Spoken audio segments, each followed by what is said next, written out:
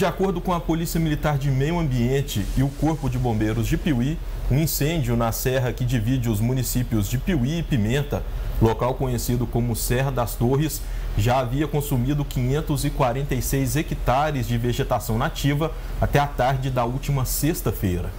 Apesar dos esforços das forças de segurança, o incêndio até a última sexta-feira permanecia fora de controle, avançando por áreas de cerrado e pastagens, além de florestas, o que impossibilita a mensuração exata dos danos.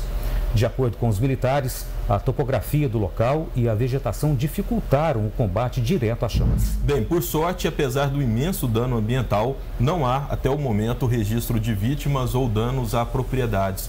O sargento Marcelino, da Polícia Militar de Piuí, de Meio Ambiente, gravou um vídeo com orientações para evitar situações como essa. Eu sou o Sargento Marcelino da Polícia Militar de Meio Ambiente. Estamos aqui na Serra da Pimenta, município de Piuí, onde vem falar sobre um assunto urgente e preocupante: os incêndios florestais. A Polícia Militar de Meio Ambiente e demais órgãos de proteção ambiental estão trabalhando incansavelmente para combater os crimes ambientais e evitar danos irreparáveis à nossa natureza. É fundamental que todos nós estejamos atentos e façamos a nossa parte na prevenção dos incêndios.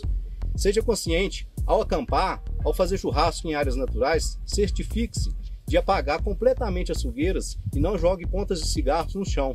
Além disso, é essencial denunciar qualquer atividade suspeita que possa levar a incêndios criminosos.